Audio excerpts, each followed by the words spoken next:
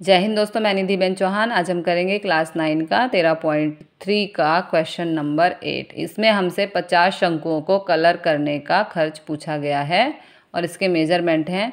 व्यास बराबर है चालीस तो आर हो जाएगा ट्वेंटी। अब क्योंकि ये सेंटीमीटर है तो इसको बनाएँगे मीटर, यानी कि सौ से कर देंगे भाग तो हमें मिलेगा ज़ीरो पॉइंट टू और एच दिया गया है वन ओके तो सबसे पहले हम इसमें त्रासी ऊंचाई निकाल लेते हैं, यानी कि L square is equal to H square plus R square ठीक है?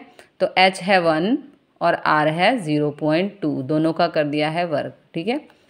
अब वन का वर्ग होता है वन और ज़ीरो पॉइंट टू का वर्ग होता है zero point zero four okay इन दोनों को प्लस करने पे हमें मिलेगा वन पॉइंट ज़ीरो फोर तो अब हम निकाल लेते हैं L one point zero four किसका वर्ग है? वन पॉइंट ज़ीरो फोर वर्ग है वन पॉइंट ज़ीरो टू का, क्योंकि हम एल स्क्वायर निकाल रहे थे तो जब स्क्वायर इधर जाएगा तो रूट हो जाएगा, ठीक है? तो इसीलिए हमें देखना है कि वन पॉइंट ज़ीरो फोर किसका वर्ग है? तो वो है वर्ग वन पॉइंट ज़ीरो टू का तो एल हो गया one point zero two, okay? अब निकाल लेते हैं पाई आर एल। अब इसमें हमें बोला गया है कि पाई को हम तीन पॉइंट चौदह यूज़ करें। ठीक है? तो तीन पॉइंट चौदह को हम तीन सौ चौदह बटे सौ कर सकते हैं, ठीक है?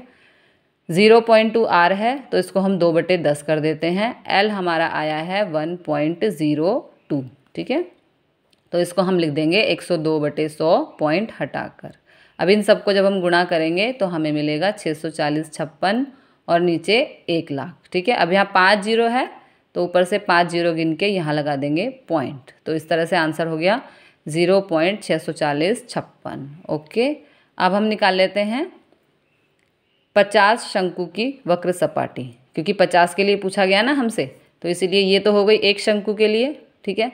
तो इसको हम गुणा कर देंगे पचास से, क्योंकि हमें पचास का ही आंसर निकालना है।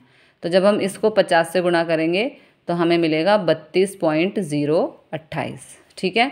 अब इसमें बोला गया है, एक मीटर स्क्वायर कलर करने का खर्च है बारह रुपये तो इतने मीटर स्क्वायर, यानी कि जो हमारा आंसर आया है, उसको हम कर देंगे बारह से गुणा, ठीक है? इसको बत्तीस पॉइंट ज़ीरो अट्ठाईस को गुणा करेंगे बारह से तो हमें मिलेगा तीन सौ चौरासी पॉइंट चौंतीस रुपये इस तरह से यहाँ क्वेश्चन ख़त्म होता है। थैंक यू वेरी मच जय हिंद, जय भारत।